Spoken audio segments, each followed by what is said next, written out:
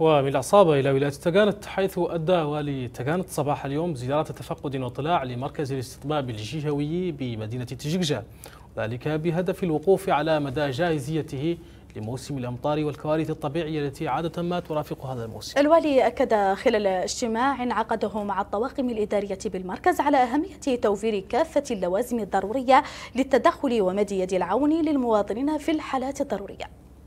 بغرض الاطلاع ميدانيا على واقع مركز الاستطباب بمدينة تجيكجاه ومدى جاهزيته لموسم الأمطار وما يرافقه من تحديات.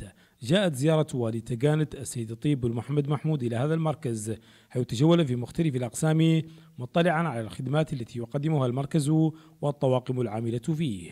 تنزل هذه الزيارة في, في, في إطار الوقوف على جاهزية المصالح الاستشفائية على مستوى ولاية تقانت اللي هو مركز استطباب تجيكجا وتم زيارة جميع المصالح وتوقف آه، على جاهزيته في هذا الموسم اللي هو اللي هو موسم خريف اللي يعتبر موسم خريف إن شاء الله واعد.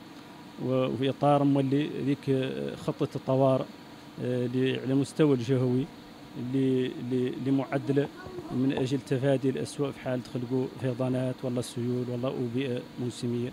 وتم التوقف على جميع المصالح الاستشفائيه مصالح الانعاش مصالح الاستقبال والتوجيه الحالات المستعجلة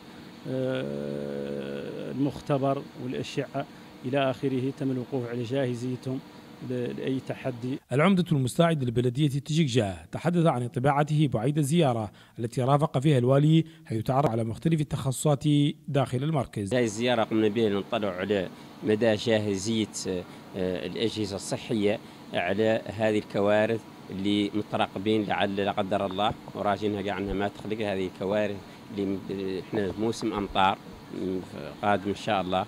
وذي قد تخلق ربما تخلق فيه كوارث كيف ذي خلقت الماضية فيضانات والله سقوط عريشة والله سوق منازل. والله أي شيء طارئ يخلق يلحق ذا الأجهزة الصحية مستعدة له. وذيك الأمراض مولي تجي دائما في موسم آه، الخريف. والدته كانت ترأس اجتماعا بالطواقم الإدارية بمركز الاستطباب بمدينة تجيكجا تحدث فيه عن ضرورات وضع المستشفى في حالة تأهب قصوى وتجهيز كافة الإمكانيات اللوجستية تحسبا لأي طارئ. داعيا جميع العاملين في القطاع الصحي بالولاية إلى بذل مزيد من الجهد. عبد الله يسلم الموريتانية مدينة تجيكجا